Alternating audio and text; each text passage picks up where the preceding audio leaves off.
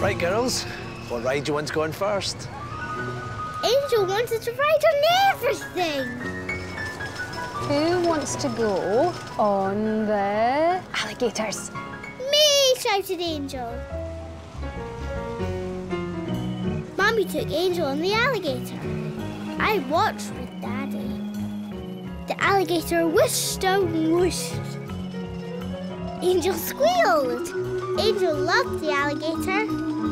It was very, very noisy. Who was riding the dodgems? said Mummy. Me, shouted Angel.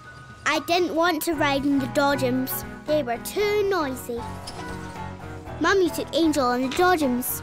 The music went boom, boom, boom. The dodgems bumped and bashed. I didn't like the dodgems.